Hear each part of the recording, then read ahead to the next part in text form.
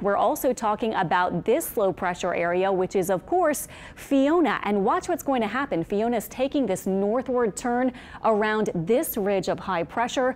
That's why its track has been shifted over the past several days. This hasn't changed very much in the past few days, but just off to the north and to the northeast, not making it anywhere near the U.S. And speaking of Hurricane Fiona, this is what we have tonight. The center of the storm very close and bringing heavy rain still to the western side of Puerto Rico. Rico.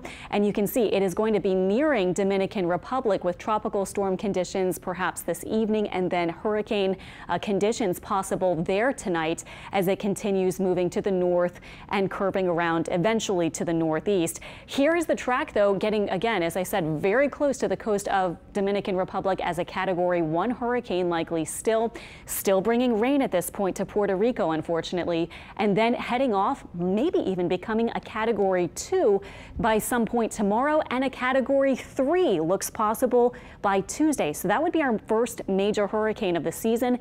The track then takes it off to the north and northeast and brings it, at this point, perhaps uh, outside of the uh, Bermuda, the island of Bermuda, but we will see. We'll kind of have to see what happens with the track there. One other spot is being highlighted from the National Hurricane Center. Very low chance of actually developing. It's this one spot way outside of uh, really anywhere near the islands of the Caribbean Caribbean or the U.S. And this one is just drifting to the north with a low chance of development. And that's it that we're looking for any other development besides Fiona for this week. So we continue in South